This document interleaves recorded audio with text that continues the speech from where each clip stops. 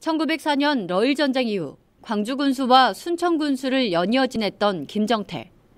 일제강점기 직후부터는 일제 국책 사업인 토지조사 사업에 협력해 다이쇼 천황 즉위 기념 대례장을 비롯한 각종 훈장을 휩쓸었던 사실이 확인됐습니다. 민족문제연구소의 친일 인명사전에 수록된 친일 반민족 행위자 705인 명단에도 포함된 인물입니다. 고흥읍 옥하공원에는 대표적인 친일 인사 김정태의 흉상이 세워져 있는데 지난해 8월 한 고등학생이 우연히 흉상의 주인공인 김정태의 친일 행적을 확인하고 국가보훈처에 민원을 제기하면서 흉상 철거 계획이 시작됐습니다. 고흥에 있는 한 고등학생이었어요. 이 고등학생이 방과 후 학습으로 이제 지역에 있는 탐방을 하게 됐는데 그 중에 하나 이 김정태 흉상을 보게 된 것이고 알아보니까 이게 친일파였던 거죠.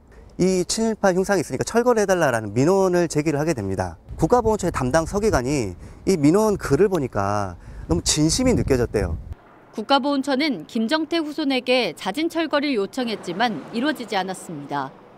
행정 대집행 계획을 수차례 알려도 철거되지 않자 행정 대집행 영장이 발부됐습니다. 민원이 제기된 지 8개월 만입니다. 이렇게 행정 대집행 영장을 발부해서 강제 철거가 이뤄진 건 전국 첫 사례. 오래 끌어왔던 흉상 철거 작업은 행정 대집행 영장이 통보된 이후 단 2시간여 만에 깨끗하게 사라졌습니다. 일제시대 때 우리 민족을 배반하고 친행정을 했던 사람들에 대해서는 반드시 처벌이 따라야 되고 그거에 대한 조사가 계속 이루어져야 된다. 라는 생각에서 하게 된 것입니다. 종래는 다시는 우리 민족이 일제 치하의 이런 아픔을 다시는 겪지를 않아야 된다라는 생각에서 전국 공공시설에 아직까지도 설치돼 있는 친일 인사 동상은 모두 37개. 국가보훈처는 고흥 김정태 흉상 철거 사례를 근거로 일제잔재 청산을 적극적으로 추진하겠다는 입장을 밝혔습니다. 헬로티비 뉴스 서경입니다.